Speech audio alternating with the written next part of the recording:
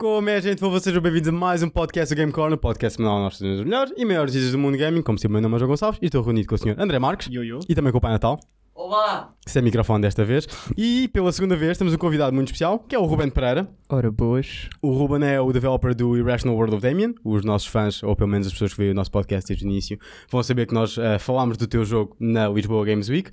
Ah, portanto, fala-nos de nós. Porquê é que estás aqui? Como se nós não tivéssemos Bem, convidado, nem nada. Bem, mas primeiro foi convidado, era, isso, era exatamente isso que queria dizer. Não era para dizer isso. Segundo, é para falar sobre tudo no geral do que eu ando a fazer, né? Uhum. E que é para falar sobre Damien maioritariamente. Pronto, que é isso que é interessante. Podes né? falar sobre Damien, podes falar do que tu quiseres, estás à vontade. Faço o bicho, meu. Esse bicho. Parece-me- Sobre... Pá, não, acho que nós podemos fazer o podcast inteiro a falar sobre tipo subespécies de aranhas, um bocado assim no género. O que tal não? Ah, desculpa, aranhas, desculpa. Então, Podia ter escolhido qualquer outro exemplo que não Podias aranhas. ter escolhido qualquer animal, mas aranhas não dá. God damn it. Um, diz. O que é engraçado é uma característica que a personagem, o Damien em si partilha. Ele tem aracnofobia e isso, por acaso, até tem uma certa relevância é. para o jogo. Ok. Porque, sem dar assim muitos spoilers, né? Mas há aranhas naquele mundo, Yeah. ok? E ele vai ver as aranhas. E as aranhas vão vê-lo a ele. e qualquer coisa vai acontecer. E eu não vou contar mais. Está-se bem, parece. Mas pronto, ah, a ce- o que eu quero dizer com isto é que o Damien, como projeto, é um projeto super grande em termos de escala. Uhum. E eu estou a trabalhar nele ah, com um amigo meu de Setúbal, o Roberto. Eu estou a fazer parte da arte e da animação, ele está a fazer parte de programação, pronto. O problema aqui é, nós estamos a fazer um jogo inteiro point and click preto e branco com 22 finais, nós os dois, Uou. sozinhos. Ok. E esse é o challenge. A cena é, em termos de narrativa, os blocos grandes, como eu gosto de lhe chamar, tipo os high points da, Uhum. da história, estão todos escritos e em termos de o que é que será as consequências conforme as ações do jogador, também já estão planeadas. Fazer com que isso tudo seja coesivo e, ca e caiba tudo num só jogo e que fique tudo bem, sem plot holes e caralho, Yeah. Demora tempo. Pois, acredito. bastante tempo. Estou a imaginar tipo um quadro cheio tipo, de papéis e ovelhinhas tipo eu, a atravessar eu, a eu ligar. comprei uma, um quadro de cortiça Uhum. e um, com cordinhas vermelhas Yeah. Para fazer tipo Lindo. level design para, para o Damon, porque já, já são, são tantos cenários, porque são 5 capítulos diferentes, cada Pois. capítulo tem 7 ou 8 cenários diferentes. E eu cheguei a um ponto onde é, tipo, isto, era, isto é de capítulo. Eu chegava ao ponto e eu perdia-me. claro, perdes. Eu Yeah. perdia-me, porque já era tanta coisa, já era tanta informação. Depois é o diálogo, tens que escrever o diálogo todo, depois tenho que fazer fluxogramas primeiro, depois traduzir aquilo para script, entregar para voice actors, receber de volta, depois não está bem como eu quero, e back and forth. Yeah. Epá, é que o jogo em si, se não tivesse nem voice acting nem múltiplos finais, o jogo em si provavelmente já estava feito. Porque era fazer arte, animações e fazer com que tudo funcionasse. A cena é como eu quero ir um passo mais longe e fazer alguma coisa mesmo. Epá, Bem. yeah, isto está fixe. Yeah. Isto, notei que houve aqui esforço. Então vai demorar tempo. Por isso é que neste momento o projeto está assim numa espécie de limbo, digamos. O projeto não está morto, nem nunca vai estar, porque eu não gosto de desistir. E nunca fui desistir. Aliás, o primeiro jogo que eu comecei a fazer comercialmente lancei. Por isso tu quer que cá conversa. Para aqueles que não sabem, é o A Demon's Game. Sim, o A? Demon's Game. Ok. Que está disponível na Steam, portanto, yeah. Fui desde 2017. Está muito Eu já te vou fazer uma pergunta relativamente a isso, mas sim, diz. Na boa, ok. Mas o Damien neste momento está tá basicamente em pausa, é o que eu quero dizer, mas não morto. Uhum. Já tenho, tenho imensas ideias do que eu quero fazer e do que eu quero explorar com aquilo, porque eu acho que mesmo em termos de atmosfera e o tipo de jogo que é, acho que tem bom potencial para explorar temas que não são muito explorados em jogos, Uhum. e que é basicamente o que eu gosto de fazer com jogos, é explorar coisas que tipo o pessoal não se lembra muito, o que vai dar ao jogo que eu estou a fazer agora, né? Pronto, enfim. Mas o. o- eu, eu queria te perguntar só, só uma coisa relativamente ao, ao, ao Irrational Wor- World of Damien, que, Sim. by the way, está disponível. E depois nós metemos o link, uh, temos um que é uma link. versão, é um pré-alfa, uh, está sim, disponível sim, é um pré-alpha simplíssimo, é só o tutorial do jogo. com- Yeah. O, o, um, queria te perguntar, estava a falar da cena de ter tipo uh, diversos uh, finais. Sim. Pronto, lá está, nós, nós jogámos a, a, aquele pré-alfa e. Se- Alpha não vai ter finais diferentes, mas, Sim, sim, claro. mas se, se é a partir daí que. yeah, logo no primeiro diálogo que vocês têm no Uhum. demo, Que tens uma, tens uma sim, escolha múltipla. aí já está a contar. Ok. Era isso que eu te ia perguntar. É, tipo, é a base de escolha múltipla ou é a, ou é a base de Ah, coisas o- que tu fazes dentro do jogo? em- ambos. Em termos, Ok. de, em termos de diálogo, vai ser sempre pelo menos duas opções. Uhum. Nem que seja uma má ou uma boa. Sim. Pronto. Mas em termos de, de ações, por exemplo, a maneira que tu resolves puzzles, há várias maneiras de resolver puzzles. Uhum. Para o primeiro capítulo há duas maneiras de resolver o puzzle principal, Ok. porque como eu estou a estruturar o jogo da maneira que eu acho mais simples, que faz mais sentido, é basicamente eu dou os cenários todos ao jogador logo de início e funciona como hub. Uhum. Ok. Mas cada, cada cenário tem peças para completar um overarching puzzle para o capítulo. E obviamente tem lá umas, umas side things Sim, caralho, pronto. Isso faz sentido porque não só permite-me ver detalhadamente o que é que o jogador faz e o que é que ele fez para chegar até ali, Uhum. Como também dá-me logo abertura para continuar a história para os capítulos que vêm a seguir. Por exemplo, uh, no, no final do primeiro capítulo tens duas maneiras de fazer o puzzle principal. Se fizeres de uma maneira, há uma personagem que vai gostar imenso de ti. Se fizeres de outra maneira, se calhar, se calhar acontece, ganhas uma habilidade qualquer ou assim. Spoilers! Não é. Porque lá está, é aquela coisa de eu não quero que seja só em termos narrativos. Eu Uhum. quero que também tenha um impacto, nem que seja qualquer coisa mínima em termos de gameplay. Por Yeah. exemplo, uh, já jogaram Outlast, não é já? Sim. Parte do, do jogo onde a câmera cai e despedaça-se todo. Boa, é simples. Yeah. Melhor parte, mais memorável do Sim, jogo. é o para mim. suficiente para. é- Para, mim, para mim, ficou. E Yeah. eles apenas mudaram a textura da câmera. M- Partiram a câmera, entre aspas, e deram hum, a resolução narrativa para que o jogador entendesse: ok, a câmera está a partir, mas eu mesmo assim preciso continuar a usar. Uhum. E é basicamente isso que eu estou a tentar fazer com o Damien: é dar ao jogador várias opções, fazer o jogador escolher uma, e depois, oh amigo, foi tu que escolheste, e a partir daqui siga caminho. Yeah. Não vai, não vai haver nada assim muito abstrato em termos de reputações nem nada. Cada personagem tem uma barrinha, basicamente é a barra do dislike like, pronto. E também, também há várias animações de idle diferentes para que as, que as personagens têm para quando falam contigo. Uhum. Caso gostem de ti, estão mais contentes, não gostem de ti, falam de uma maneira diferente. Depois também precisas de, de voice lines diferentes para cada coisa. Trabalho, trabalho, trabalho, trabalho, trabalho. Yeah. Isto é uma das razões pelo qual eu também queria, eh, queria ter-te aqui no podcast justamente por causa disso, porque sinto que muitas vezes, eh, e também, eu também só, só comecei a ter mais ou menos noção disto quando estive Yeah. no, no curso que ambos fizemos, não nos conhecemos aí, não interessa. Ahm, Que é isso que é, pá, fazer um jogo, Não é? pá, é uma grande dor de cabeça. É, É, um grande filme. é porque. De pensar Jogos, em. Yeah. exato, os jogos englobam tudo, englobam música, englobam arte, englobam animação, englobam programação, englobam literalmente qualquer coisa que possas imaginar. Há jogos hoje em dia que parecem filmes. É Há filmes hoje em dia que parecem jogos. Logo aí, tipo, já, já há assim um bleed, vá, digamos, entre indústrias. O que, o que é normal, porque aconteceu a mesma cena com, com banda desenhada e tipo mangá. Tipo, Yeah. começaram os dois a cruzar-se e depois eventualmente temos o que temos hoje em dia. E, e os jogos e filmes estão a passar pela mesma transição. A cena é quando nós temos jogos a tentarem serem filmes e filmes a tentarem serem jogos, perde-se a identidade. Sim, sim, sim, sim. E o, e o, que, eu, e o que eu quero fazer com, com os jogos que eu, que eu faço é ter identidade e ter personalidade e destacar-se de, de alguma forma, seja em termos narrativos, seja em termos artísticos, ou seja mesmo em, em só. Epá, olha, o jogo está do caraças, puto. Só assim, mas, mas que seja alguma coisa que fique, que seja memorável. O jogo ser todo a preto e branco não foi uma opção ao acaso, foi uma opção que para mim fez todo o sentido logo de início, porque o jogo não só iria focar-se em temas mais sombrios, vá, digamos, como eu também queria ilustrar tipo um mundo mais bleak, mais perdido, mais Yeah. no sentido de o mundo perdeu a cor, no sentido literal e no sentido metafórico. Sim, sim. Daí o jogo ser todo a preto e branco. Não, e acho que nesse aspecto, acho que, que, pelo menos do que eu joguei do pré-alpha, pá, yeah, pá, passa claramente essa, essa imagem. Sim, Ma- a música e tudo mais. Tipo, Sim, tudo, sim. tudo cria aquele Yeah. ambiente mais obscuro. Tipo, É, é aquela coisa de ser. Eu, queria, eu quero que o jogo seja pesado, mas que não seja overwhelming. Yeah. Isso, isso é um balanço muito lixado de conseguir. Porque eu vou estar sempre a tirar cenas novas ao jogador, mas ao mesmo tempo eu não quero que o jogador fique do tipo, "E agora o que é que eu faço? Uhum. Porque o point and click mal chega a esse ponto, o point and click morre. Está bem que faz parte da, da genre, tipo descobrir puzzles e não sei mais o quê, mas eu estou a falar mesmo daquele momento onde o pessoal começa a clicar em tudo. uhum. Aí já sabes que tu perdeste o Depois jogador. perdeste, yeah. Porque eu tenho que dar pistas, boas pistas, mas não posso dar logo a solução. Mas também não posso dar uma coisa super críptica, porque depois nunca ninguém vai descobrir. Yeah. E depois a cena é, eu preciso de imensa gente para testar o jogo, porque eu não sei o que é que é tipo, o que é que é considerado demasiado críptico e o que é que é considerado demasiado óbvio. Porque para umas pessoas uma- umas coisas são óbvias e para outras não é. Né? E logo aí é super complicado. Mas isto, todos os jogos de puzzle passam por este problema. Aliás, eu tenho imensa inveja do pessoal que consegue tipo, fazer aqueles jogos de mobile com mil e tal níveis e é sempre a mesma mecânica. Eu dava em dois. Eu Yeah. dava em doido só a fazer, imagina jogar. Tipo, não- Mas jogam. É Sim, é eu sei, mas lá está. Mas isso é logo outro tipo de identidade, estás a ver? Vol- vol- da- Sim, sim, vai sim, full circle. Porque aí é só a mecânica. Tipo, o jogo funciona assim, faz isto. É Pois. Pronto. E desde que isso seja muito bom, o jogo tem Sim, algum funciona, sucesso. claro. Pronto.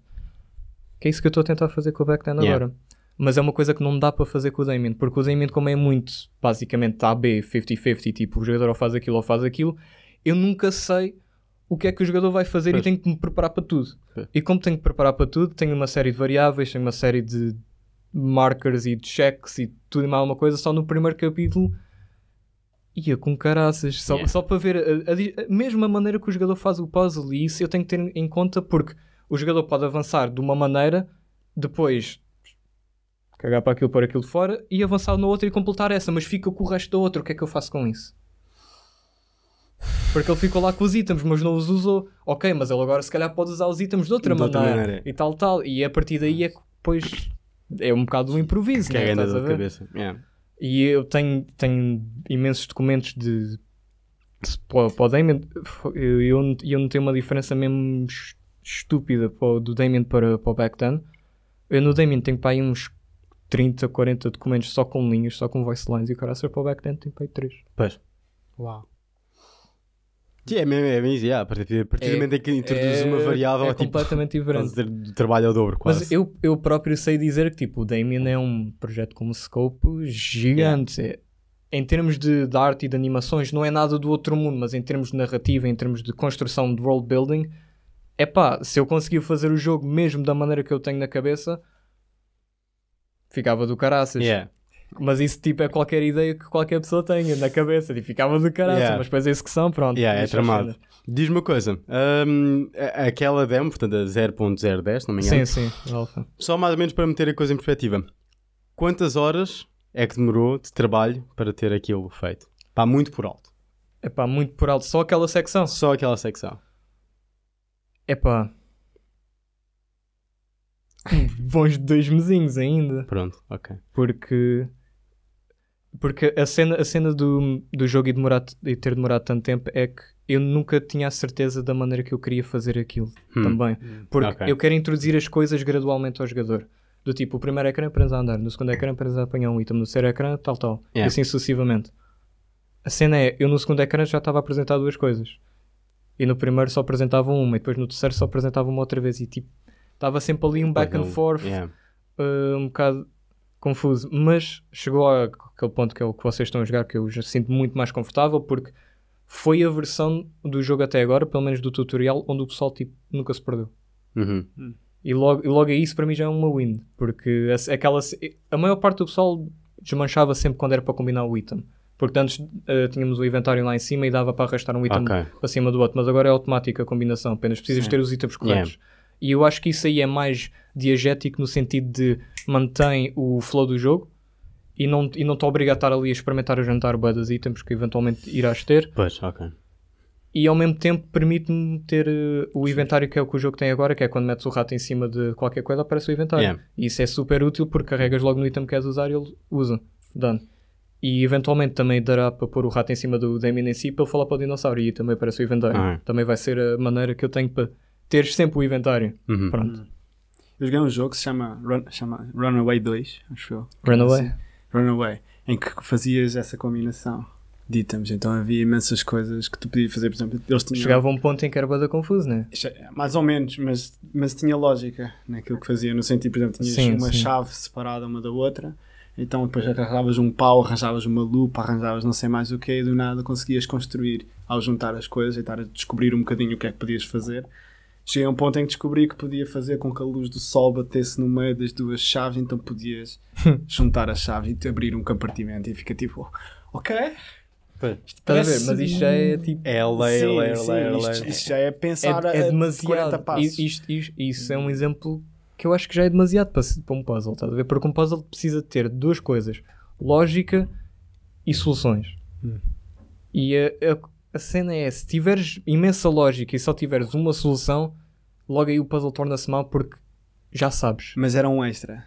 Isto era uma coisa extra, Ok, não era importante Ok, para a história. ok, ok. Melhor. Tipo, tu podias descobrir, Sim, mas em, não em te termos de, fazia mal em termos de side quests e coisas assim, é normal tipo ser uh, uma vez e feito, estás a Yeah. ver? Tipo, é perfeitamente normal. Mas em termos narrativos, por exemplo, vamos ver uh, qualquer jogo do David Cage ou vamos ver qualquer jogo que esteja.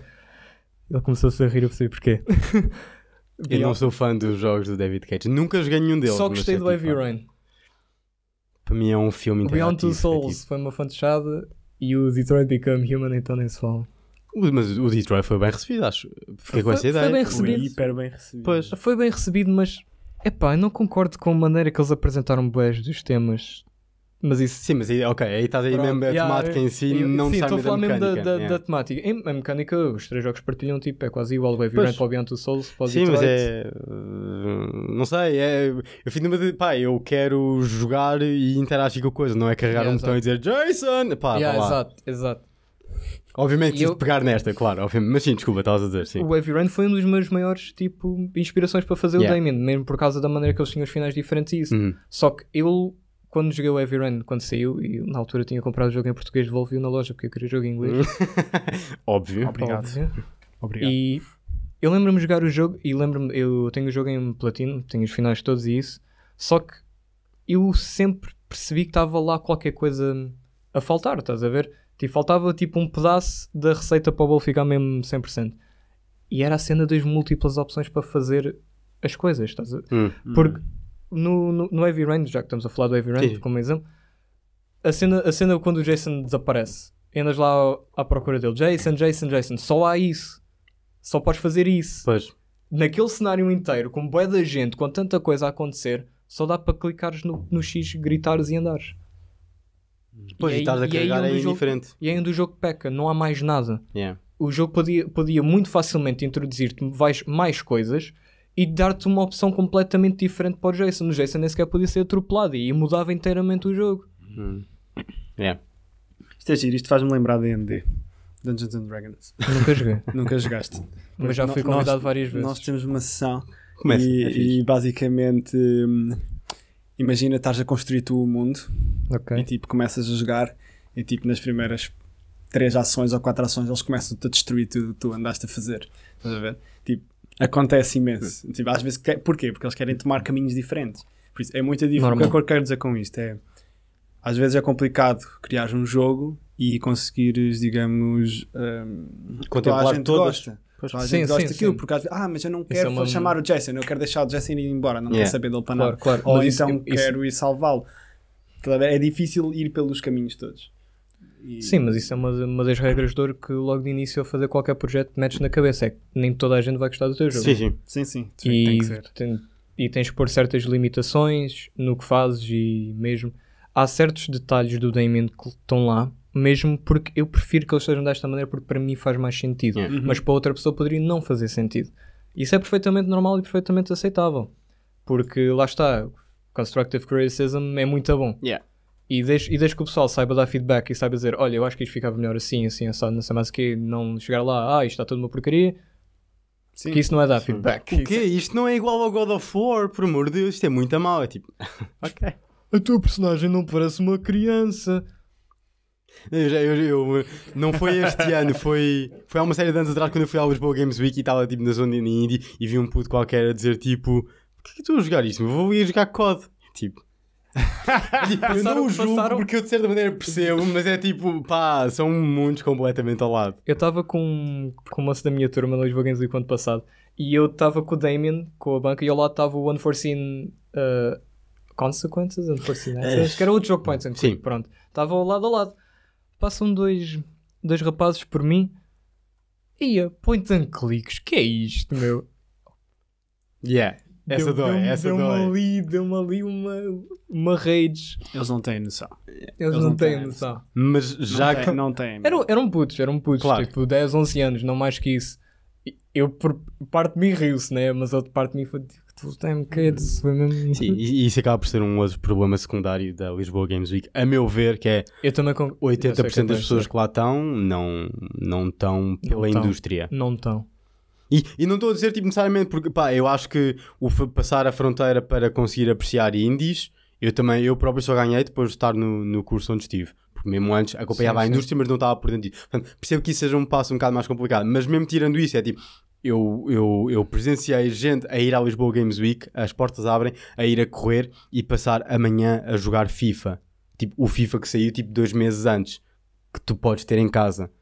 Mas pronto, mas isso é toda uma outra questão, que é o problema da Lisboa Games Week. Mas de qualquer maneira, estavas a falar da cena do. Vou assumir que já tiveste uma data de oportunidades para meter a testar o, o Damien. Tipo, Sim, sim. tu geral. Hum, ok, como é que eu vou frasear isto? Tu, quando tens pessoas a testar, tu costumas perguntar eh, se as pessoas estão habituadas a jogar point and click ou alguma Uh, coisa? Depende. Depende, porque, por exemplo, na Lisboa Games Week, como eu abordava as pessoas, era mais. Eu andava lá com um póster, Yeah. De um lado para o outro, feito barata tonta. Olha para mim. O meu setor de Unity na altura estava lá, é o Ricardo Sisteiro, de, o Those Who Remain. Hum, sim. Pronto. Ele até mandou uma piada a dizer que se tivesse contado os quilómetros que eu fiz lá dentro naqueles 4 dias, que se calhar eram mais quilómetros que eu fiz no Pokémon GO. E ele tem razão. Ele é Plot twist, não instalaste o Pokémon Go. Exato. O meu pai é que instalou o Pokémon quando não fui eu. Lindo. Mas yeah, eu andava lá com um póster e eu chegava-me ao pé das pessoas, uh, traduzíamos, explicava o que é que era o jogo e dizia que estávamos lá com uma banca se eles quisessem testar o jogo, que estavam à vontade. Feedback, yeah. A maior parte das pessoas ia logo, Yeah. logo, instantaneamente. E eu comecei-me a perceber disso, comecei a usu- Usufruir. Então, Claro. Parvo, né? Conclusão, agarrei em boa de posters, fui para a entrada, cada vez chegava ao pé de alguém, grupos de pessoas assim, tipo, de- aquelas bonfires invisíveis. Yeah. Eu enfiava-me lá no meio com um póster, falava sobre o jogo, ia toda a gente jogar o jogo. E oferecia, um, e oferecia bem. ao pessoal. Porque é, lá está, é aquela cena. A maior. Eu esqueci-me completamente, porque eu também já fui consumidor da Lisboa Games Week. Eu em 2015 fui lá como uma pessoa à toa. E eu ao entrar naquilo, parecia que eu estava a entrar noutra cena completamente diferente. E eu no ano a seguir fui lá como dev e senti tanto aquela pressão, o nervosismo, aquela Yeah. está tudo certo e não sei mais o quê, e temos que puxar pelo pessoal, que eu esqueci-me completamente que o pessoal que lá está são pessoas. Yeah. Simples quanto isso. E se tu chegares ao pé deles e, e fores honesto e dizeres, olha, isto é o jogo que eu estou a fazer, é um jogo para ti branco inspirado em Tim Burton, eles inspirados em Tim Burton, na maior parte deles chegavam logo, Tim Burton, Yeah, a sério. bo- Bora. Boa, bom, não sei mais o que E eu logo jogar. Logo.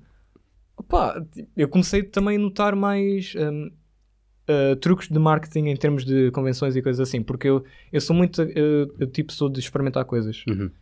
Eu, quando fui em 2017, andava com business cards, andava com uma série de material para para entregar. O ano passado só fiz cartazes e, e business cards, business cards para o pessoal da indústria e para, para aquela pessoa que gostou mesmo, mesmo Yeah, do jogo, yeah. para aquele mega fanzorro número um e cartazes para distribuir ao pessoal assim à toa. Este ano eu vou ser um bocado mais agressivo em termos de marketing, mesmo porque eu acho que o ano, o- mesmo assim, o ano passado no geral, eu, eh, em termos de jogos na Lisboa Games Week estavam bons, mas eu senti que o pessoal tinha medo de sair das bancas, no geral, estás a ver? Porque mesmo, mesmo ter lá pessoal da indústria veterana, sei mais o quê, não, não que eles estivessem a fazer mau trabalho porque não estavam longe de todo, mas mais aquela coisa de interagir com o cliente. Não, Yeah. não existe. E eu acho que isso é o que falta, porque a maior parte das pessoas que entram na Lisboa Games Week nem sequer fazem ideia do que é que é um indie. Yeah, de todo. Bora explicar. E vá lá, já não, tá, já não estarem ostracizados a uma tenda secundária como foi tipo, o primeiro ano que eu fui, Aí, já é uma vitória. Mas, mas eu, Mas eu- ficámos ostracizados no ano passado no Comic Con. Ah, não Foi- sei. Sei Também estavam tipo. Tive lá. Pois, estavam também tipo lá. Não, no não, fundo. não que o espaço em si fosse mau, mas estávamos numa tenda com uma ventania desgraçada e não havia sinalização, Pois, o pessoal ficou um bocado aquém. pois, nem sequer é agradável estar lá o pessoal vaza. Mas eu, eu lembro nesse ano de experimentar o. o ah, como é que se chama aquela porcaria? O Decay of Logos? Decay Vlog, sim. Yeah. Foi- ficou gold há pouco tempo. Sim, exatamente, eu, eu também vi isso, mas já foi há uns quê? 4 anos atrás, tanto que o que eu joguei era muito básico. Mas eu lembro-me de. E eu gostei imenso dessa interação, que é justamente aquilo que estás a dizer, que é. Yeah, os devs estão ali, mas os devs estão, in- estão interessados naquilo que. Exato. da maneira como tu jogas e na maneira como tu pensas perante o jogo deles, porque pá, porque é informação valiosa para, Exato, para eles. exato. Eu achei isso super interessante. Eu também, o- muita gente diz isto e eu acho que eles têm razão. Eu sou uma pessoa que sou muito dada, estás a ver? Hum. E isso em termos de marketing é bom porque Sim, sim. eu tenho um certo à vontade. Yeah. Vá com as pessoas, eu consigo abordar qualquer tipo de pessoa e sei tipo improvisar no momento Yeah. o que dizer e dizer as palavras corretas e vai jogar o meu jogo e tal. E o pessoal vai logo jogar o jogo e fico todo contente e mais um voto e pimba, people's choice, wow, win. Ah, ok, já sabemos como é que ganhámos. Pronto, ok. Estou a brincar contigo. Foi, foi assim que eu ganhei. Faz parte. foi, foi, foi um bocadinho rato, mas olha. Ah, pá, então, ser. bem, nessa indústria Não ou foi em qualquer bem, uma, eu, pá, eu, fogo. eu Se o apenas. jogo fosse mau, não votava. Também é verdade, exatamente, Por pá. isso. Bom argumento, Gostas? vou usar isso, vou usar isso. vou usar isso. Eh, Não, mas eu, eu queria saber. Ok, eu vou perguntar isto. Não, não te quero ofender por causa daquilo que estava a força, dizer há bocado. A cena do. Eu não acho que. Ok, point and click está ultrapassado. Não estou a dizer que não possa ser, que não seja um bom género. Estou a dizer, nos olhos das massas, point, point and click é uma coisa que desapareceu, tipo, pá, desde que Monkey Island e pá, que já não, Não é existe. verdade. Estou a dizer a nível de- da percepção. Tu tens mainstream, League digamos. of Legends é point and click. Epá, tá, pá, epá, mas estou a dizer, um- ok, puzzle point and click. Se é para ir por aí é- um FPS um point and click, porque tu Pá, apontas yeah. clicas. Sim, tá bem, mas é um bocadinho diferente. Pronto. Não, é? Hum. Tu, não, é como o teu, que tu carregas e ele move- move-se até lá. Sim, É sim, sim. Sim, mas pronto, Mas um puzzle point and é click. assim. Há lá Yeah. Monkey Island, Day of the Tentacle e Mas, coisas eu, assim mas, mas eu acho que isso tem, tem uma razão muito óbvia. É que cada vez menos e menos jogos point and click são feitos porque fazer jogos point and click é uma trabalheira medonha Ok. e a maior parte deles não são profitable, Pois. Não são jogos que vendem bem, são jogos de maioritar- maioritariamente paixão, Uhum. que é exatamente o que o Damien é. Pois. Eu não estou à espera que o Damien faça rico, muito pelo contrário, estou à espera que o Damien faça o break-even e com um bocadinho de sorte. E... e Yeah. e com, com a quantidade de tempo que eu ainda vou ter que depositar naquele projeto, mais as convenções para o ano, mais tudo e mais alguma coisa, é pá, pelo menos o break-even ia ficar Pois. fixe, fixe, é Eu estou a ver a preocupação nos teus olhos. Mas portanto, ok, yeah, é mesmo tipo, yeah, foi a cena de paixão. Sim, é mesmo sendo a paixão. Mas, por exemplo, há jogos point and click que têm saído ultimamente que são fantásticos. Há um jogo chamado The Cat Lady, que saiu em 2012, que é incrível. Uhum. E foi feito por um gajo, sozinho. E aquele jogo para mim está tipo Yeah. está completamente mind-blowing. E ele lançou um recentemente. Ah, ele demorou 6 anos para fazer este jogo. Chamado Lorelai, que saiu há uns meses atrás. Ainda não joguei. Mas também é do mesmo... Também é do mesmo... Eu lembro de ver, de ouvir esse nome algum por acaso também. Ou de ver uma notícia qualquer sobre isso. Mas sim, desculpa. Pronto, é do mesmo estilo. É point and click, não sei mais o quê. Os jogos dele têm um sucesso, mas saiu há pouco tempo também um point... O Siberia 3. Também saiu há uns anos atrás. Também teve algum sucesso, mas a, cri- a recepção foi assim... Yeah. Eh. Opa, a cena é que também não há muitos jogos point and clicks excelentes, estás a ver? Porque cada vez que pensas bons point and clicks, automaticamente pensas nos anos 90. Sim, exatamente. Logo, Pois, o instantaneamente. LucasArts na altura fazer point and clicks era. Exato, a. Luca, a LucasArts na altura era, era King, Era incrível. Era King e Lord de, do, do género point and click. Yeah. Hoje em dia não tens, não tens nenhuma indústria cuja especialidade é point and clicks. Pois. Tens, tens imensas, tens imensas eh, empresas em que fazem FPS, Battle Royales e não sei mais o quê, ou MMOs, ou temos a Blizzard que faz um bocadinho de tudo, mas não há nada point and click. E nem há, nem há, em- nem há divisões em empresas grandes para fazer jogos de aventura. Ah, pois. Tu vais ao Ubisoft, tens várias equipas a fazer tipo protótipos, projetos e não sei Yeah. mais o quê. Nenhum 50 Assassin's Creed já estão todos em deles, deles é um pré-desenvolvimento. click. Claro que não. Pois. Nenhum deles. Nem na Ubisoft, nem na Capcom. Capcom, se calhar, por causa do mercado japonês, JRPG é um bocado mais. Um bocado mais dado a isso. Yeah, um Sim, percebo-te. Mas pronto, em termos de Oeste, estás a ver Western, Europa e América, para esquecer, point and pois. clicks. No Japão é mais. É um bocado, como estavas a dizer, é- é mais dado porque eles já têm aquele historial inteiro do, do JRPGs Yeah. e eles já estão muito mais habituados a usar um rato para para jogar. Uhum. Ao contrário daqui, que é basicamente matar 10 gajos, chamas um AC-130 e pimba, Yeah, lá vem, sim. lá vem Sim, que aqui é quiser. tipo ação, explosões em todo o lado e tipo, está-se bem. E Nada também- contra, mas. Sim, Pronto. ma- mas também, isso também leva a outro problema que é cá em Portugal os videojogos ainda são muito considerados infan- infantis. Ah, sim. sim. Muito mesmo. Eu, muitas vezes, hoje em dia, mesmo para pessoas adultas que têm empregos e famílias, não sei mais o que eu digo, não, o meu emprego é, é fazer jogos, ficam a olhar para mim. Yeah. Tipo, então, mas isso dá dinheiro. Yeah, dá. Tipo, Estás a falar tipo da, de uma das maiores indústrias de entretenimento Estás do só, mundo. estás só a falar daquela indústria que fez 7 bilhões Yeah. no ano passado. Se eu não me engano, é tipo a segunda maior indústria. Acho que a primeira é a pornografia, mas isso, isso é um Ou trono que nunca vai sair. Uma dessas. Ou futebol, faria sentido também. É. Uma dessas. E daí, não sei. Porque, pá, para todos os efeitos, videojogos é uma cena global. Pá, Opa, tipo, futebol é Europa cada- e Japão. Se for chamar cada jogador de futebol uma empresa de jogos, o Ronaldo Pois é, era a também é verdade. Ronaldo era a polícia. Ah, não era a Bethesda? Ah, não, desculpa. Não, não, isso é o Diego Costa, que está tipo sempre a fazer Ui. merda. Até faz coisas boas, mas está sempre a fazer. Mas desculpa, continua. Ok, pronto. Um, ma- mas o. Voltando à, à pergunta que eu estava a fazer da cena do, do point de é mais numa de. Eu tenho a ideia na cabeça da pergunta, mas é difícil explicá-la. Que é, por exemplo, se eu chegar ao pé, ah, não aconteceu no Lisboa Games Week, porque, por acaso, mas se eu tivesse lá chegado e te desse feedback.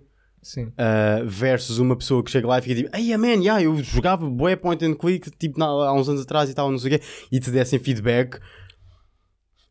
Não Hum. quero estar a meter palavras na tua boca, mas por exemplo, se Sim, fosse para mim, eu mas- ficava tipo, pá, acho que, não sei, Sim, acho que a informação mas, valiosa mas a isso em, em termos de o feedback que os jogadores te dão, há feedback que vai ser mais valioso que outros, mesmo por causa do historial que o jogador te dá logo de início. Pois, Por exemplo, eu vou ter mais em consideração, também por causa do meu público-alvo para o Damien. O meu Uhum. público-alvo para o Damien é a partir dos 12. yeah, ok. Porque eu estou a ser realista, eu não vejo nenhum puto a jogar aquilo a não ser de tipo estar lá a clicar à toa. Pois. Porque aquilo é um jogo que é, é tão imerso e tão focado na narrativa que o pessoal vai ter que perceber o jogo para conseguir jogar. Hum. E a partir dos 12 eu acho que é uma idade já realista para ter minimamente noção do que, do que é que está a acontecer e do que é que é para fazer e isso. A minha primeira reação é de muito cedo, mas depois penso tipo, pá, nós jogávamos Abe's, Yeah. Oddworld e Odyssey Yeah. e, e eu mais jogava, novos. eu jogava yeah. Earthworm Jim com 12 anos Lindo, Earthworm e. Medieval e coisas assim. Medieval. Ah, portanto vais comprar o remake que vai sair agora, não é? Estou deserto de jogar o remake. Mas aquele boss lá na igreja, lá no topo, Eu não joguei, não faço ideia. matou-me tanta vez. eu, eu, quando era puto, não percebia nada daquilo. Não, tu agora vais ter, não percebo. vais ter aquela conclusão que eu tive quando joguei. Eu também joguei Spyro quando era puto bué. E Eu agora também, comprei o remake. E, e O jogo é básico. O jogo é básico. Eu isto era O bué jogo difícil. é é tipo, o jogo é básico. Sim, sim, sim. Porque lá está, já não sou um puto estúpido. Yeah, exato. Mas sim, desculpa, estava a falar do target do Damien, sim. Sim, mas por exemplo, se eu tiver lá uma pessoa com 40 anos que já jogou point and clicks a dar-me feedback, eu Hum. vou levar essas palavras com um bocado mais consideração do que um puto a dizer Não ah, porque é que não dá para andar com o A e com o D. Hum. Yeah. Entendes? Yeah, porque logo, logo aí também tens de ter logo várias, várias coisas em mente cada vez que estás a ouvir, estás a ouvir alguém a dar-te feedback. Um é o meu público-alvo é X, dois é este gajo sabe ou não, e dois é o que ele está a dizer é importante. Yeah. Porque a maior parte das pessoas, e isso, estou a estar aqui um bocado má nome às pessoas, mas pronto, não te dizem nada de jeito. Sim. É, dizem coisas do tipo, ah, isto está bem vazio. Sim. Olha, boa, fixe. Sim, e porque não, não, não sabem, não têm noção Não, da porque não, realidade. porque não, é, não claro. têm noção, não, não sabem o que é que falta. Yeah, Sabem que falta alguma coisa, mas não sabem o que é que falta. claro. E tipo, também parte do nosso trabalho é entender o que é que as pessoas estão a querer dizer e, e também faz parte. E aí, tipo, sendo onde eu entro de fazer eh, relações públicas e, e isso. Claro, tem de haver, não é tipo joga, preenche um formulário e vai-te embora. É tipo, yeah, tens tipo de descascar Sim, porque as pessoas não- Obviamente, porque eu por muitas vezes até pergunto às pessoas se elas já jogaram outros tipos de jogos semelhantes Yeah. e coisas assim, que é Claro. para saber o quão credível é a palavra daquela pessoa. Porque, por exemplo, ele pode dizer, ah, este puzzle está demasiado simples. E eu digo, ah, mas é o tutorial. A pessoa diz, ah, ok, mas nhanhã, nhanhã, mas ali já está a tentar encontrar alguma coisa mal para dizer. E eu aí Exatamente. já desliguei. Pois. Porque agora se fosse, ah, isto o puzzle é demasiado simples, é o tutorial. Ah, ok. Isto aqui, aí eu já dava atenção, porque ele já, já dropou o outro assunto para o tutorial. Ele, ele entendeu e para ele fez sentido, continuou. Agora, quando as pessoas estão a tentar fazer nitpick a um projeto, é uma das coisas mais irritantes Yeah. possíveis. Porque tu próprio sabes que a pessoa está ali só mesmo para te irritar. Sim. E isso, tipo, hoje em dia nas convenções vê-se um bocado de tudo. Eu tanto apanhei lá pessoal a jogar o jogo que disse que o jogo estava muito bom e que me deram imensas sugestões, algumas delas que estão no jogo neste momento, Yeah. como apareceu lá pessoal a dizer: Ah, isto é preto e branco, nunca vai vender. Eu, tipo, Eu acho que o ok. Limbo vai discordar contigo, mas ok, está bem. É, faz parte, não? é? O pessoal, quando- a palavra crítica é geralmente negativo. Sim, E cada, mas- ve- cada vez mais, vê-se os tudo obviamente, obviamente, aí, que, tipo, obviamente que do lado do dev temos que ouvir tudo. Ah, boas e más, né? Claro. Mas na maior parte das vezes, quando não é bom ou mau, é só inútil. Uhum. E isso é o que me dá pena, porque eu também tenho a noção que a maior parte das pessoas não sabe entender o que é que é preciso naquele jogo para ficar melhor. Yeah. Porque não tem essa percepção, porque a maior parte das pessoas hoje em dia vê jogos a saírem assim à, à torta e direito pensam que é bada fácil. Sim, sim. O- É como eu estava a dizer há bocado. Eu por isso não tenho noção, apenas dizem, ah, o teu jogo é feio. E para, isso, para eles faz todo o sentido, mas para nós não, porque para nós, tipo, então, mas tem shaders e tudo e mais uma coisa. Yeah, exato. Sim, tens um olho Assim. completamente diferente. Yeah. Tens a animação, tens o movimento, tens o... Não, o problema é que as pessoas tipo, sentam-se ali na, na cadeira atrás do jogo e pensam que tu estás ali numa posição mais ou menos vulnerável e as pessoas pensam que são juízes. Sim, sim, E sim. vão, a, maior tipo- parte, a maior parte das pessoas pensa que, já que está a ter o privilégio de jogar aquele jogo e pagou Yeah. para alitar, que ele diz o que quiser. Exatamente. E Só tu que- só- vais ter de comer. eh, pá. E comi e continuo a comer Pois, e vou continuar. Sim, faz parte de- da profissão. Só que eu gostava que a so- sociedade no geral, cá em Portugal principalmente, tivesse um bocado mais noção do que é que se passa por trás da indústria dos videojogos. Eu não Yeah. estou eu não estou a dizer para o pessoal de- decorar quando é que a Spectrum saiu e não sei mais o que, coisas assim hardcore, nem, nem falar legit Ponas, Imbanube e caraças. Apenas estou a dizer, é pá, que sabem que é preciso programar, Yeah. animar, fazer arte, marketing, Sim, que não é fácil. E que é, tudo isso é coisas muito Já que, o, já que o pessoal tem noção o que é que é preciso para fazer um filme, no Yeah. geral, pá, é a mesma coisa para jogos. Simples quanto isso. Pois. Porque se isso já, já houvesse no- na nossa sociedade, esses comentários inúteis deixavam de existir. Porque a maior parte do pessoal, no geral, já teria uma muito melhor noção do que é que seria preciso. O teu jogo não está vazio, apenas precisa de mais interações. Ah, o teu jogo não é feio, apenas tipo, eu encontrei ali um glitch de uma textura. Yeah. Essas coisas. Sim, exatamente. E aí já fazia completamente a diferença. A, a indústria tornava-se melhor porque teria, na maior parte dos casos, muito melhor feedback. Claro, gente mais educada. Gente, gente mais educada, gente com melhor eh, sentido crítico e principalmente bom espírito. Yeah. É- e é só isso que é preciso. As pessoas que mais me ficaram marcadas, as pessoas que eu me lembro, são as pessoas que me deram críticas decentes. Não Yeah. são as pessoas que chegaram lá, perderam aquilo tudo e depois bazaram. Houve, houve um moço que, que que jogou o Demon's Game e depois jogou o Damien e eu lembrei-me dele.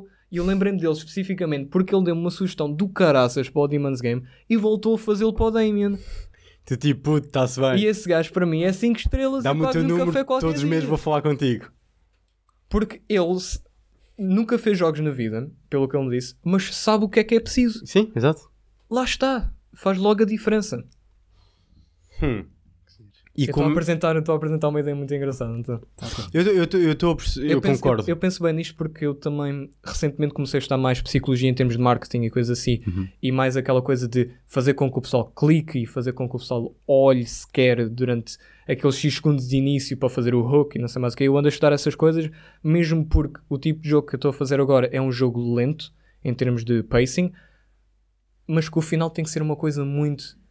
Ok, aqui vamos nós. É uma coisa, não é de hook, é de preparação. E isso Yeah. ainda é mais, mais lixado de fazer. A cena é: vamos fazer uma coisa lenta de preparação para início, para habituar os jogadores aos controles e não sei mais o quê. O jogo tem que estar logo bom no início. Pois está.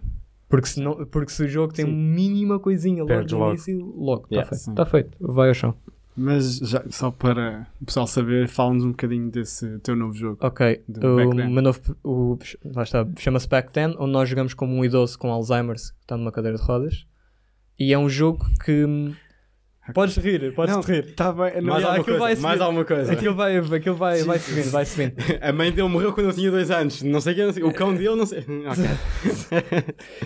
Opa, eles, eu acho que ele esqueceu quem é que já morreu, mas enfim, isso é outra história. Jesus. Eu tenho um sentido é? horrível, ok? Mas eu, eu tenho a voz com Alzheimer's e eles sabem que o jogo existe e eles acham que é bem engraçado porque é uma maneira de eu mostrar às pessoas o que é que uma pessoa com Alzheimer se passa no Yeah. seu dia a dia. E isso é uma ideia que para um jogo que eu, pelo menos pela minha pesquisa, ainda não há.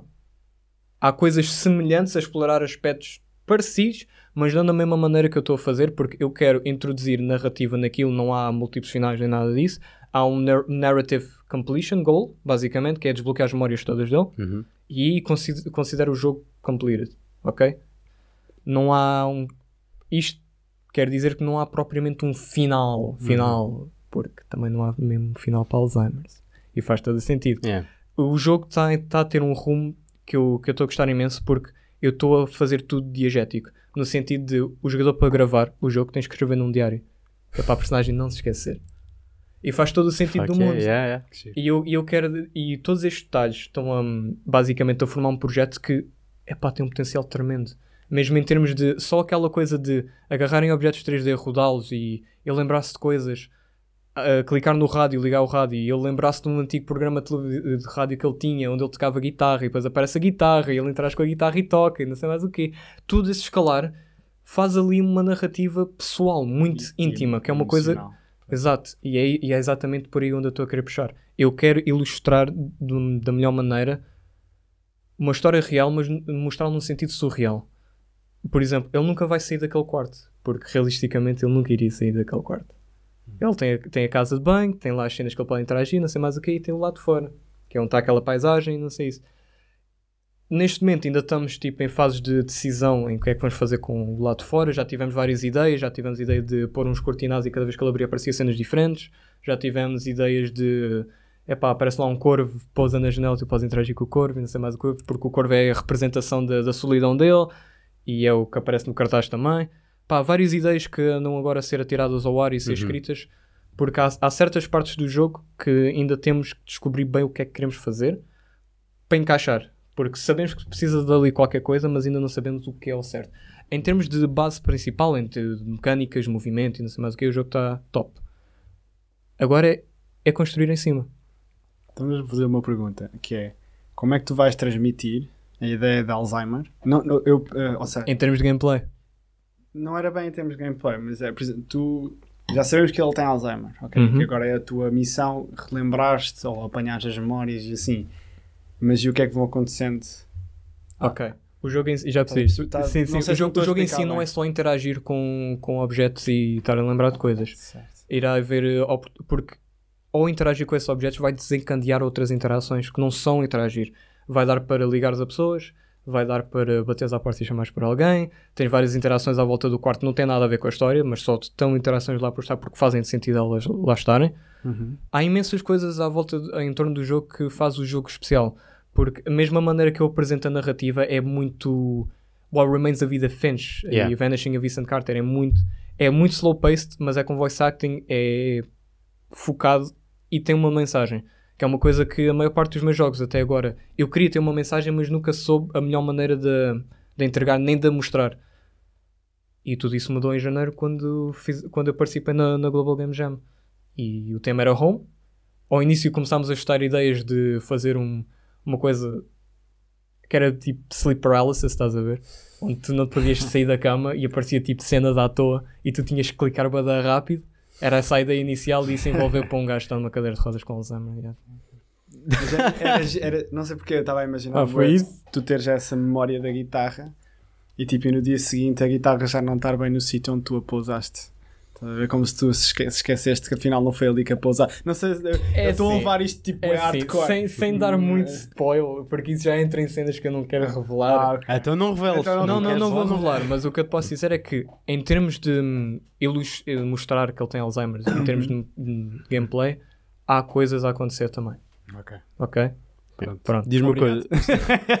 2D ou 3D? 3D. FPS. 3D? FPS. Ok, fixe. E... VR. Ah, pois é, ok, tinha, tinha, ok, tinhas dito antes, agora dizemos aqui, sim, VR. VR, tem que bombar esse VR. Vai, okay. ser, vai ser depois do jogo ser lançado. Ok. Porque tem que ser realista com estas coisas e ainda. E depois os prémios PlayStation vão ditar muito o que é que acontece ou não. Claro. Pronto. Mas o. Eles, eles puxam para ser VR ou foi mesmo tipo decisão tua de querer fazer isso? Foi decisão minha, mas hum. eu acho que eles também não acharam má ideia. Claro, claro não. Porque também faz todo o sentido. Porque mesmo a maneira que o jogo é jogado, tu estás sentado numa cadeira com os óculos, olhas para Sim, baixo, pois. estás numa cadeira entras de dentro do jogo, é, entras é, logo na personagem, claro. faz todo o sentido. E eu ainda ando a brincar com, um, com talvez os controladores uhum. da, da, PlayStation do Move, fazer assim com as mãos para andar. Que é para andar. Isso era uma grande cena. Isso, é bom, Isso era muito bom. Yeah. Não sei nós não estar a censurar isto, mas isto são ideias boas que estão a ir assim para a internet, pá. Pá, copyrights. Direitos de autor, TM, TM, back then TM.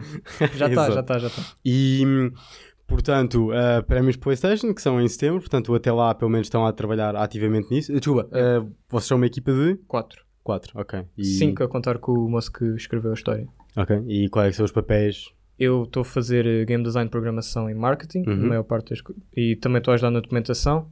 temos o Caleb, que é documentação, música e sound effects. O Aquiles é artista e o Carlos está a fazer modelação 3D. Ok. Pronto. E já tem data a pensar numa data assim para lançar? Uma altura? 2020. 2020. Ok. 2020 é, é super realista e o jogo da maneira que está que tá a ir, se continuar a ir da maneira que está a ir, o jogo fica gold no primeiro quarteto do ano. Ok. O problema é escolher a altura do ano correta para lançar. Exato. Porque o ano que aí vem está a ser puxado. Está a ser muito puxado. Pelo menos, pelo menos ali no primeiro quarteto, os primeiros 4 meses, ia são um bada maus para lançar um jogo indie. Um bada maus. Sim, eu não é? diria que antes do verão não, não tem. Ou lanças em janeiro, o que estás a dizer, tipo, não Pois. vai estar pronto, ou então é tipo verão. Porque a nossa ideia original era apontar para, para Abril. Hum. Só que depois foi anunciado a Cyberpunk Não. para 16 de Abril e ele tipo, "Ah, uh, não, Yeah, nope. não, Caga não vai nisso. acontecer. Este jogo é tipo, toda a gente vai comprar este jogo, portanto, yeah, Porque isso foi como nisso. aconteceu com a Demon's Game e eu não fiz o mesmo erro que o Back Then. Porque eu com a Demon's Game anunciei que ia lançar o jogo a 10 de Fevereiro, que foi o que aconteceu. Na E3 no ano a seguir, Resident Evil 7, 24 de Janeiro. Muito bom. E eu ali do tipo, Muito Mas aí tens um problema ainda maior que é, são os estilos que entram Iguais. bem mais em conflito. yeah. Bom. Ah, Posso lançar uma estiga? Não uma estiga, mas tipo um tema, um tema tipo coisa. Ok. Ok. O que é que tu achas da Epic Games? E daquilo que eles estão a fazer Em relação à Store, em relação à Store? acho bué fixe haver competitividade com a Steam, acho bué mal a maior parte das practices que eles têm. Eles não aceitam indies, pois não. Eu já, lhes mand- eu já lhes tentei mandar e-mails e isso, a ver se havia alguma maneira de dar a volta ao sistema que eles têm, porque eles neste momento só estão a, a aceitar indies, mas Que não são indies. que não são indies. indies né? com budget AAA há não sei eles- quantos eles anos estão, atrás. Eles estão a aceitar indies com, com funding, com tudo e mais alguma Yeah, coisa, não right. estão a aceitar os low guys. Estão a aceitar os mid guys. Yeah.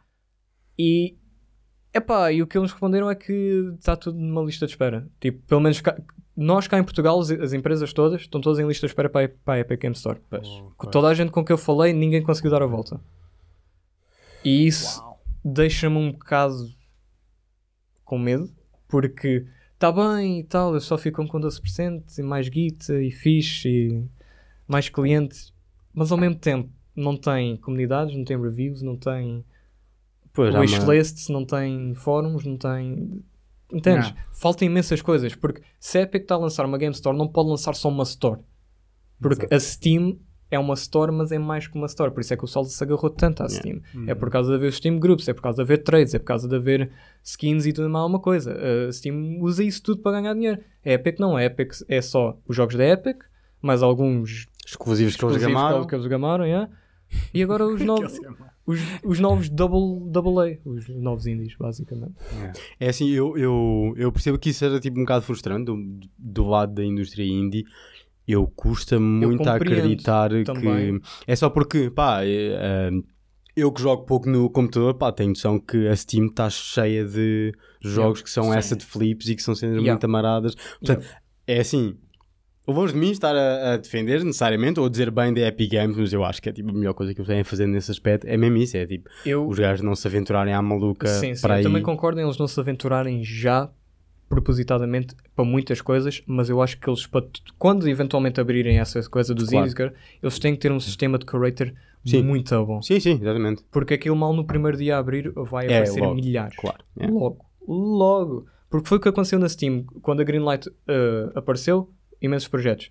Uh, a Greenlight, entretanto, desapareceu. Apareceu o Steam Direct, logo no primeiro dia, pimba. Pois, Milhares sim, de é sempre logo. caótico, claro. É sempre um caos de todo o tamanho. E a Epic, para não cair na mesma lenga-lenga, é pá, tem que ter um sistema qualquer, um curator. Porque a Greenlight era bom em teoria, só que é a internet. Yeah.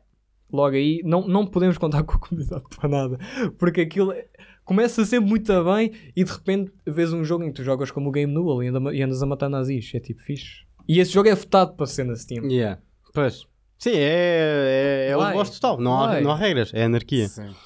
Ah, então agora eu viro a coisa e pergunto, ok, tu que estás como ah, dev e suponho que estás a fazer a tua vida para seres um dev mesmo, Uhum.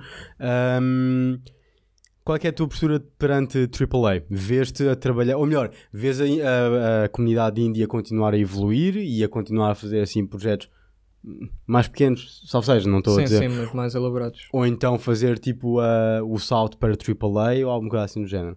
Assim, eu. Estás a falar cá em Portugal? Ou no geral? Ou, o, o que for. Se bem que AAA cá em Portugal Sim, triple, era o que eu ia dizer. Triple A cá em Portugal. não há. Tem- Ainda.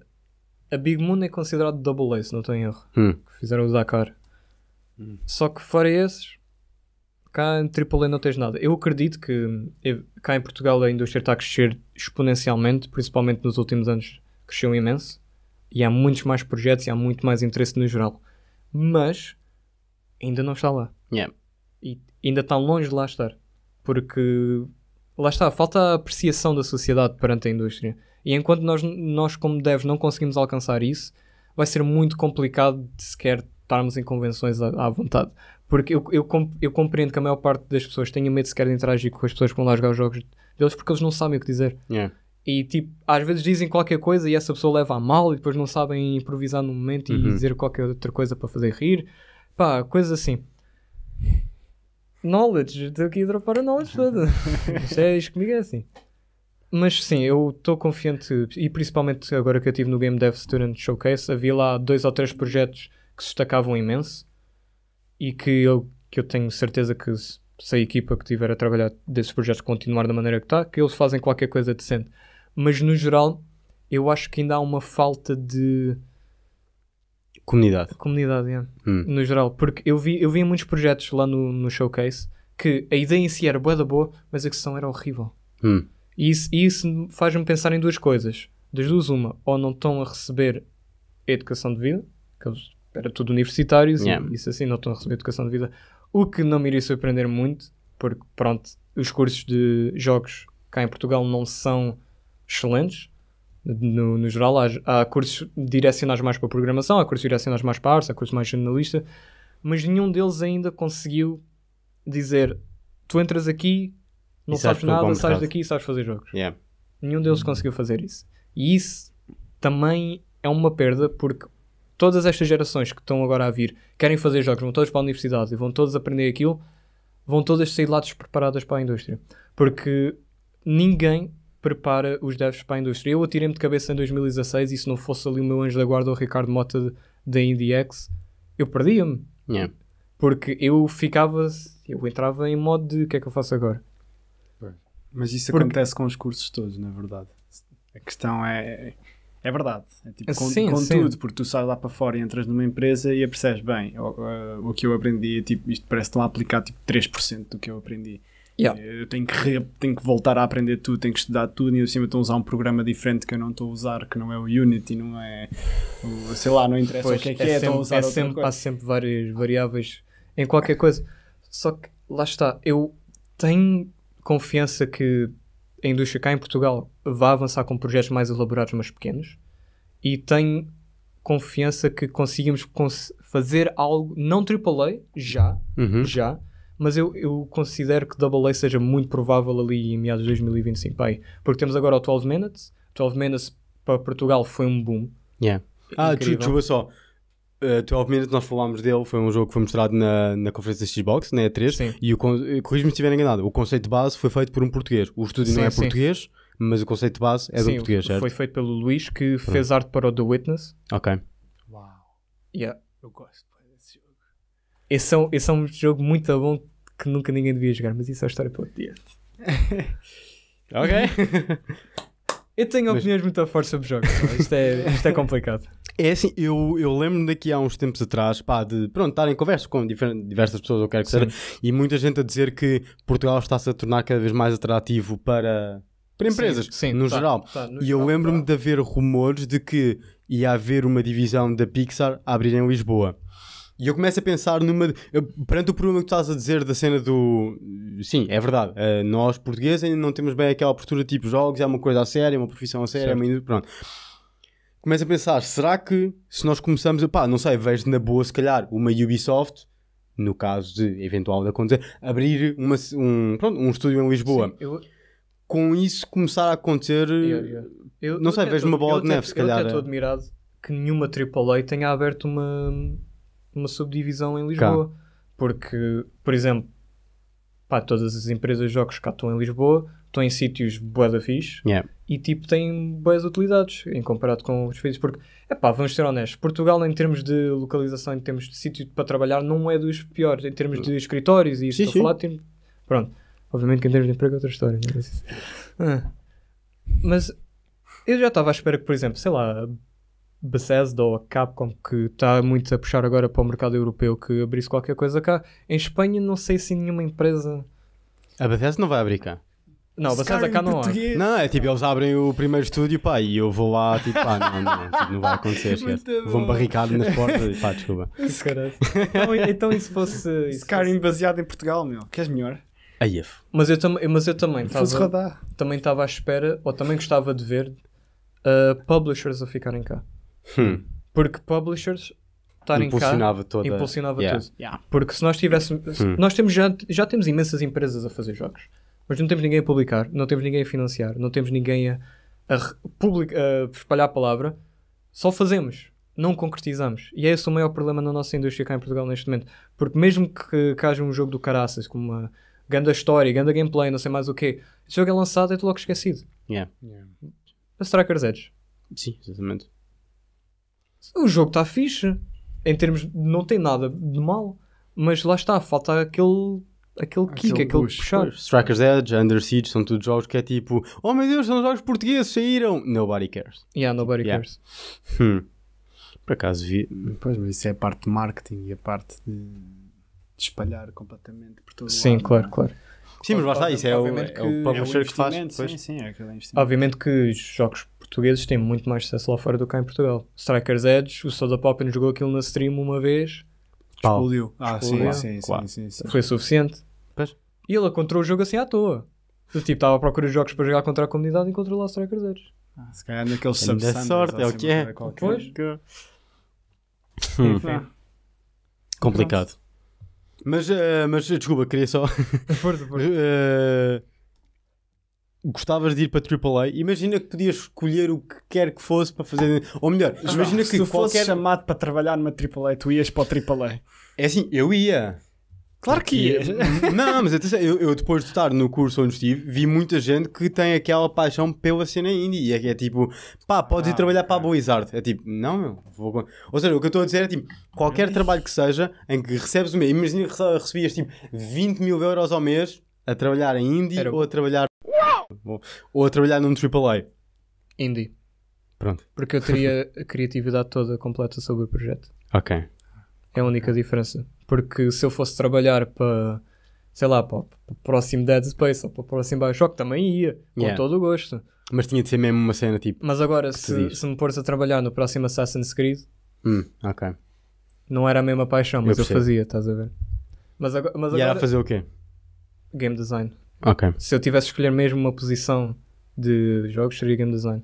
Porque não só é que dá mais dor de cabeças, É. é que isso para mim é mel, mas como é, é uma das mais importantes em termos de fazer com que tudo faça sentido. Yeah.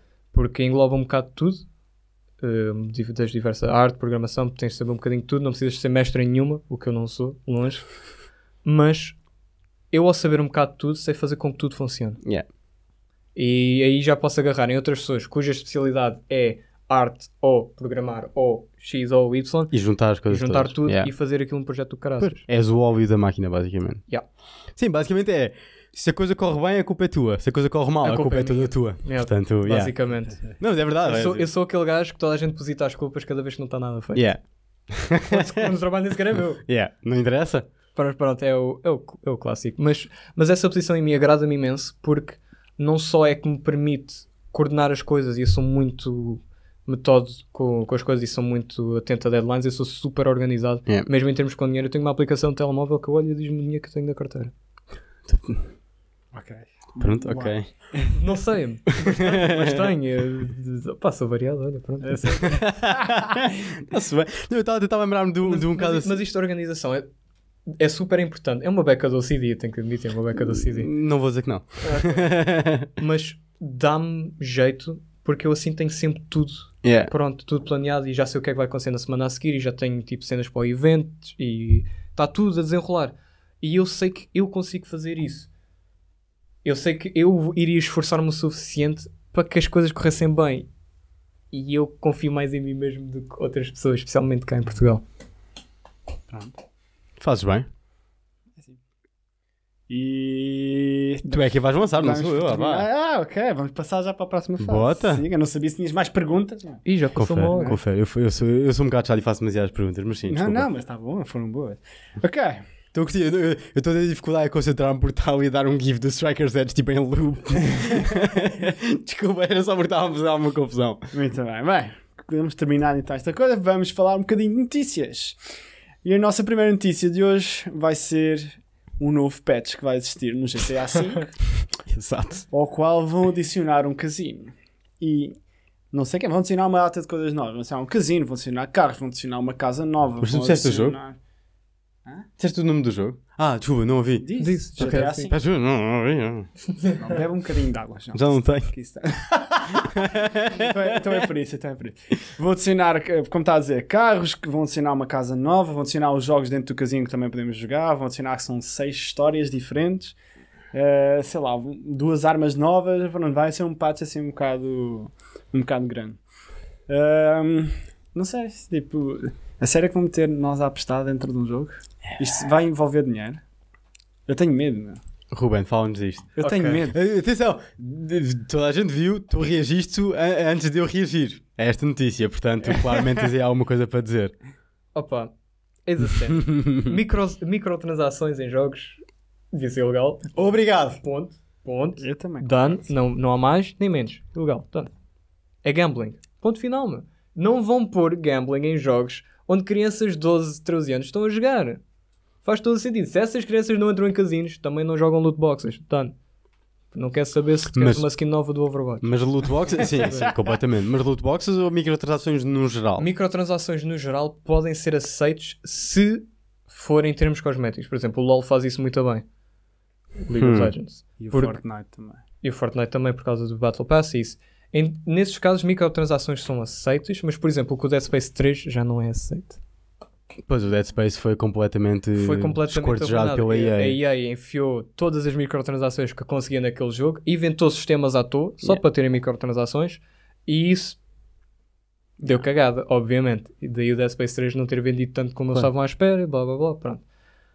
Que é, também, mas aí também há outro problema que é, eles esperaram que o Dead Space Yeah. 3 vendesse Ai. como um FIFA vendesse, que é retardada, pá. E é, e é completamente ridículo. Estamos a falar de um jogo de terror super violento Que é um Não- jogo não- nicho. que para já não tem o mesmo mercado que um FIFA. Claro que não. Nem Nem nunca vai ter. Sim, exato. Se- aliás, e o jogo em si vendeu bem. O Dead Yeah. Space 3 vendeu bem. Eu, eu vi o, o Financial Report da EA. Yeah. O jogo vendeu mais de 3 milhões de cópias. Isso não é um fail. Isso é não um muito. fail. Pois, Onde é que isso é um fail? É um fail quando as expectativas são 6 milhões. O problema é esse. Pois, mas isso é o problema da EA fazer as expectativas demasiado altas Sim, e depois. o gráfico está tipo assim, tá a ver? Eu quero que seja assim. E não, e não assim. Sim, Pois. exato. Mas voltando às microtransações.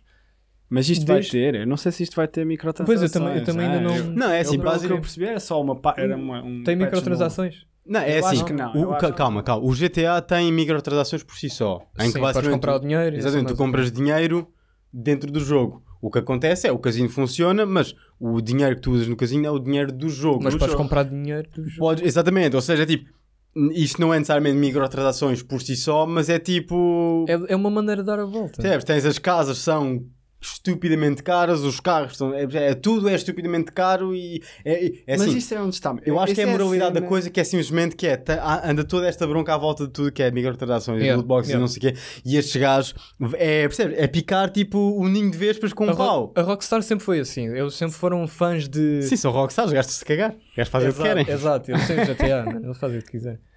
Só que isto a mim, das duas, uma, ou é eles a tentar dar a, a volta à complicação toda das microtransações e das loot boxes, ou é apenas uma campanha de marketing muito boa e isto não tem microtransações nenhum e o casino nem sequer tem nada que possas ganhar assim do outro mundo e o pessoal já só, só está só a exagerar, o que também é possível. Hum. Agora, a- A essa verdade cena é das é um novas casino, histórias e podes ter miúdos de 12 anos a jogar dentro de Pois, a realidade é que estamos a falar no cas- de um casino Mas no o jogo é para maiores de 18. A questão é essa. É tipo, eu, é pá, eu- Tá- não, tá bem, mas é assim, eu, eu, eu só não, não costumo pegar no argumento de, de, de, ah, de crianças não deviam estar a jogar, porque eu concordo plenamente, eu acho que crianças não deviam estar a tocar Sim, sim, em sim. loot boxes, acho que é uma estupidez. Mas eu só não vou por aí, em, por exemplo, em casos como o GTA, ok, o GTA não tem loot boxes, mas o Apex é para maiores de 18? O Apex Legends? 16, acho eu. Ok, vamos imaginar, imaginemos que o GTA tinha loot boxes. Sim, sim. Eu não tinha problemas, ou melhor, eu tenho problemas com loot boxes, mas nunca iria usar o argumento de ah, pelas crianças, que é tipo, o jogo é para maiores de 18. É tipo, se o vosso filho anda a jogar, a culpa é vossa, não é Exato, dele. exato. E aí já é um problema de- especificamente teu. Ah, mas com isto esqueci-me do que é que ia dizer, mas ok. Ah, Mas é, é uma coisa que eu não percebo. Hum. Porquê é que tu vais como gastar o teu dinheiro para ter dinheiro se o podes ganhar no jogo? O, Oh, o divertimento do jogo não está em passar o jogo. Porque é uma questão, é uma questão de, de tempo e a um ponto onde Porque é é um grind completamente Quer ser o primeiro a ter que o a casa? instale em bots? Yeah. Epá, tá bem, não sei, mas eu não consigo concordar com Pensa isso. assim, meu. Nem- É, eu, Eu- também não concordo, mas o pessoal faz algo. Mas é uma seca, então Eu quando vais jogava- jogar o jogo, vais te divertir a jogar o jogo ou vais te divertir a ter a casa primeiro que o outro? Eu Tipo, quando jogava GTA Online e Não jogava sei. com o Pai Natal e com um outro amigo nosso, nós jogámos durante pai tipo 4 meses, mas tipo, quase religiosamente, jogávamos bué e dávamos sempre a fazer as mesmas missões. Sempre, é tipo repetidos, porque também não havia assim tantas missões para fazer. Ao final desse tempo todo, eu consegui comprar tipo a casa mais cara da altura. Ao final tive 4 meses a jogar religiosamente as mesmas missões. Pois, e o problema é que cria grind. isto. É, é o grind. E a questão é que isto Mas já isso foi é- há boa de Mas anos isso estás a atrás. ser recompensado pelo grande, estás a ver? Eu não estou eu não estou atenção, eu não estou a dizer isto a favor de, de, Sim, de loot sim, box, sim. longe disso. Ahm, mas lá está, é, mais. chega a um ponto onde é tipo, vamos introduzir isto onde as pessoas podem pagar para fazer isto mais rapidamente. Ou então podem ganhar sem pagar. Yeah, mas nós vamos propositadamente fazer com que isto seja muito Claro, mais complicado. claro. É, é o acesso, foi o meu problema com o Assassin's Creed Odyssey, que é tipo, eu estou a fazer a história. Ah, eu estou nível 15, a missão que eu tenho que fazer está a nível 18. Hum, que estranho, carregue start. Olha, tu podes comprar um boost de experiência. É tipo, Yeah. percebes? É, é aí a, a Também- moralidade da coisa. não O, mim. o Apex Legends fez uma coisa com as microtransações que eu achei mesmo. Está mesmo no nome, é mesmo Predator, é mesmo, mesmo escumalha. E isto irrita-me tanto. Compras 10, 10 paus em gems e recebes. Como é que era? Mil, mil, e- mil e 70, o que é que era? 1070 qualquer coisa. Pronto, para Sim, comprar. da moeda, é. O boneco custa 1080. Isso, isso é Essas estudado. coisas. Isso é estudado tipo em laboratório. coisas nisso. irritam-me. Yeah. Nem o De League uma of Legends maneira. faz isso. O League of Legends deixa, deixa tipo com 30. Sim, Faz o tipo eles ainda cap te deixam de ter resto. abaixo. Eles ainda te deixam de resto que é para tu eventualmente compras dois. Que é para tu pensar, ok, eu já tenho 30, já não tenho que coisa. Isso é muito cão. Fogo, pá. A sério, Yeah, isso é Sério que eles ridículo. fizeram isso? Sim, eu, eu não sei se ainda está no jogo hoje em dia, mas eu lembro-me ver na altura até comentar isso com, o- com o meu pai e tudo, estávamos a jogar. Ele disse, estes gajos não sei mais o quê. Ridículo. No entanto, eu Deixa não, cons- eu não vou estar uh, a esticar muito a corda. Eu não concordo com, com a cena das loot boxes serem só uh, uh, skins tipo, e coisas visuais. Porque para mim isso continua a fazer parte do desenvolvimento de um jogo. Pá, um artista, um artista Há fez loot- isto. Isto há- faz parte do há trabalho. Loot, há loot boxes. E eu não gosto, desculpa só, eu não gosto da feitas. ideia das pessoas dizerem tipo, ah, mas é uma coisa secundária. É tipo, man, não é secundária, meu. Não, Senão não é. todos os jogos era tipo o nível base do Unity, que é tipo tudo planos brancos e não sei o quê. Tipo, vamos chegar a esse ponto. Mas pronto, isto já sou eu. Mas eu percebo uh, que haja pessoas que não pensam da mesma maneira que eu. Porque eu Não, sou muito porque, agarrado à tipo, cena visual. Para tipo, tu tens loot em jogos. Basicamente, cada vez que matas um, um boneco, há Sim. um loot box. Entre aspas. Sim, claro. Se formos por aí, loot boxes não têm propriamente um mal, né? Mas porque isso está interligado diretamente com o jogo, não é uma coisa a forçar-te a pagar. Sim, exatamente. Porque o, o que estavas a dizer do Assassin's Creed Odyssey, estavas a fazer história, a próxima quest é nível 18. Não tens nada para fazer. Yeah. Yeah, compra um boost ou fazes grande. Pois, exatamente. Fizeram o mesmo com o Shadow of War, fizeram Sim. o mesmo agora com o, Sim, mas o Shadow War é o- ridículo. o novo Wolfenstein, o que saiu agora, o, o Youngblood. Igual. Hub zones, por, zona, por zonas, fazes clear a cada zona, todos fazem respawn, tens que ir às mesmas zonas várias vezes. Yeah. E. Nossa. What the? Isso é triste. meu. É, lá está, é a indústria. Porquê? Bethesda. E depois, tens tipo, e depois tens tipo o God of War, que ganha o melhor jogo do ano e não tem nada dessas Yeah. É assim, é tinha será? incentivos de pre-order, mas, yeah, mas não, pá. Está bem. Mas é incentivos, mínimo. incentivos pre-order, Não estou a dizer como sendo uma coisa má. é- yeah, mas, tipo, não era, também não era nada do outro mundo. Sim. Sim, exato. Não, eram tipo, eram Era umas só- skins para o escudo, skins, yeah. duas acho eu, whatever. E uma missão, o que é que era? Sim. Uma side quest. Yeah, ridículo. Uh, mas pronto, seguimos para. Pá, estamos a ficar com o tempo, ficamos por esta notícia, onde tivemos a confirmação esta semana que o Control uh, da Rem é Remedy só. Ou é Remedy, Remedy. tipo Entertainment? Ou um Acho que é Remedy Entertainment. Remedy. Remedy Pronto, Games. veremos. É Remedy, Remedy. exato. Os gajos que fizeram o Quantum Break. Quantum Break E o Alan Wake. e o Alan Wake, exatamente. Uh, yeah, anunciaram que o Control uh, has gone gold. Para aqueles que não sabem, gold basicamente é O jogo está feito. o jogo está feito, está a ser posto em CDs e está pronto uh, para enviar para retalhistas e tudo isso. Uh, e pelo que eu percebi, vocês estão muito mais interessados neste jogo do que eu, portanto, Ok. tipo, passo-vos a bola à vontade. Eu joguei os jogos todos da Remedy. Ok. Curti boa do Alan Wake. O Alan Wake American Nightmare não se falamos. Quantum Break, é. Gostei algumas das mecânicas, mas não era bem aquela cena que eu estava à espera. Mas isto, Em isto é. termos gráficos. Yeah, em termos gráficos estava. Yeah. Jesus. Jesus. Eu estou bem curioso com isto porque eles aqui estão a, estão a sair da sua zona de conforto. Uhum. Porque eles estão a. Para já estão a combinar vários tipos de combate diferentes. Combate aéreo, tens combate no chão, tens combate. Só não tens combate debaixo do chão porque não dá para ir para debaixo do chão. Mas logo aí dá uma dinâmica super interessante ao jogo. Porque eu ainda agora eh, mencionei o Warframe. Uhum. Porque faz-me lembrar imenso do Warframe num bom sentido, que é o sentido da fluididade do movimento. Yeah. E isso é bem importante para, para este tipo de jogos, e especialmente como é um jogo onde vais andar ao tiro pessoal e não sei mais o quê. As animações e mesmo a maneira que tu andas pelos níveis, a maneira não é parkour, obviamente.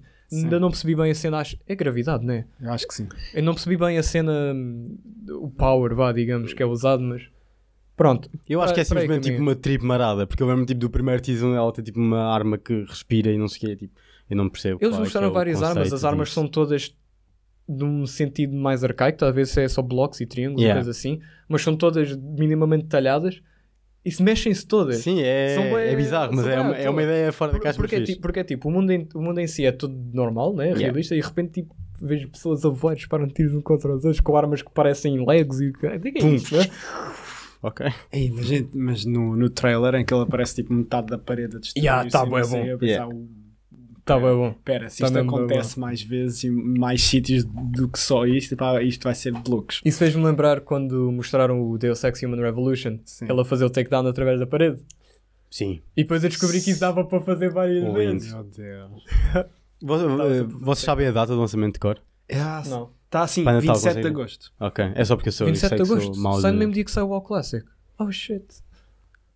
Eu não sei o que é que é o Classic. O WoW Classic. É o. Ah, o WoW Classic. O World of Desculpa, Warcraft. eu não tinha processado. Damn. Tá, tá, tu, tu vais não- jogar o WoW Classic ou... Religiosamente. Ok, Religiosa. pronto, ok, está-se bem. Ficar tipo a matar mobs para farmar tipo dois, os dois últimos níveis. Estou preparadíssimo. Está-se bem, ok. Uh, Ruben, diz-me onde é que as pessoas te podem encontrar, onde é que elas te podem seguir, essas Face- coisas todas. Facebook, Twitter, Instagram, Ok, meus. Para o Backden, Facebook, Twitter. E para o Damien, Facebook, Twitter e Instagram. ok. E o... E, ah, ah, como é que, onde é que está o, o link do, do jogo do? Damien. Está na Itch.io, na GameJolt e na IndieDB, se não estou em erro. É a Ok. mesma versão em todas, é sacar Ok. qualquer uma. Nós metemos 0.0.10. na Yeah, yeah, nós metemos isso Podem encontrar perfeitamente lá. Uh, portanto, maltinha, se gostaram, metam like, subscrevam, comentem, beijinhos e abraços. Até para a semana. Eu estou com boa da fome e preciso boa de ir à casa de banho. Nossa, ele disse beca, meu. Yes. Beca? Yeah. Que é tipo Isso uma é beca? Uma beca. Tu tens noção que os miúdos não sabem o que é que é uma beca? É pá. Os miúdos sabem o que é uma beca e fiquei a pensar, será que ele, assim? será que ele não sabe o que é uma beca? Mas depois ele disse beca e pensei, "Oh, ele sabe, meu.